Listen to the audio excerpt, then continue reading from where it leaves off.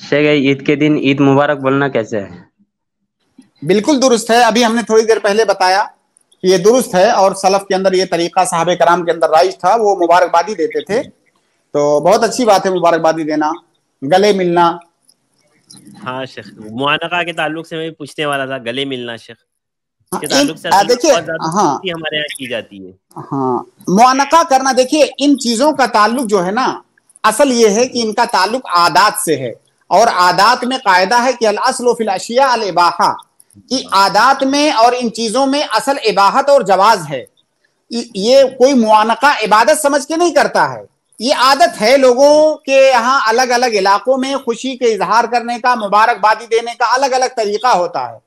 तो इनका ताल्लुक आदात से है। आप मुबारकबादी अपने अंदाज में बोल सकते हैं, आप मुआनका भी कर सकते हैं, कोई हरज की बात नहीं जी जी।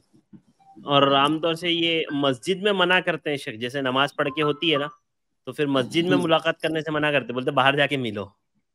अब देखिए अगर मस्जिद में भीड़ लगाते हैं लोगों को डिस्टर्ब करते हैं रास्ता रोकते हैं तब तो ठीक है। इस वजह से नहीं शेख मतलब हाँ। शरी एतबार से शरी नुकता नज़र से वो कहते हैं।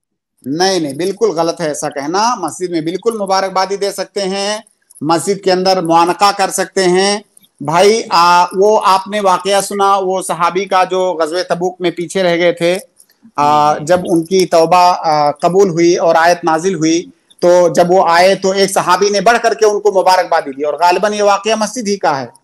और तीन तीन मरतबा गले मिलना शेख। इसमें एक चीज़। ये इन चीज़ों का ताल्लुक भी आदात से ही है। जैसे आपके यहाँ आपके यहाँ गले मिलने का कौन सा तरीका है? भाई जैसे हाँ। अरबों के यहाँ आपने देखा होगा वो जब गले मिलते हैं तो आ, जो है एक दूसरे से वो आ, अपना गाल जो है टच करते हैं। ये उनके मुआनका का तरीका है। हमारे यहाँ हम सीना टच करते हैं जब मुआनका करते हैं। तो इन तमाम चीज़ों का ताल्लुक आदात से है जब तक इसमें शरीयत की कहीं कोई मुखालफत नहीं होगी तब तक ये चीज़ें जायज़ हैं। तो ये हर किसी से करना भी दुरुस्त है ना शेख मतलब अगर आदात से है तो? हर किसी से मतलब मतलब आदमी जिससे भी मुलाकात कर रहा है चाहे जानता हो ना जानता हो जो हाँ बिल्कुल। हाँ बिल्कुल आप कर सकते हैं किसी भी मुसलमान से कर सकते हैं मोहन का। ठीक है जजाकला खैर।